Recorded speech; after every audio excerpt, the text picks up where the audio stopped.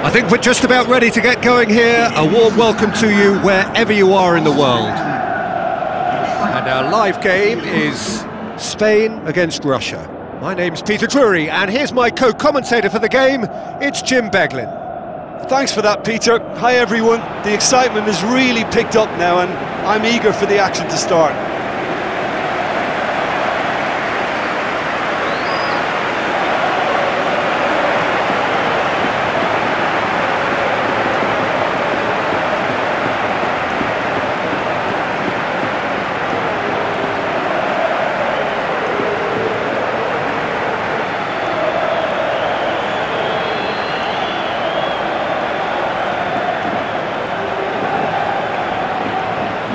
Spain line up in a 4-3-3.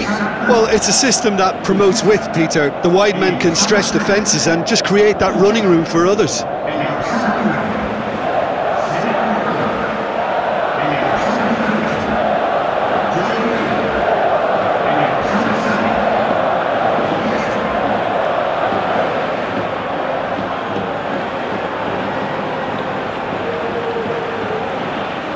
Out on top.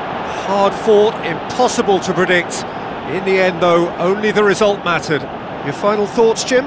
Yeah, we knew there was a sizable gap in the quality of both squads, and, and the story was told in predictable fashion.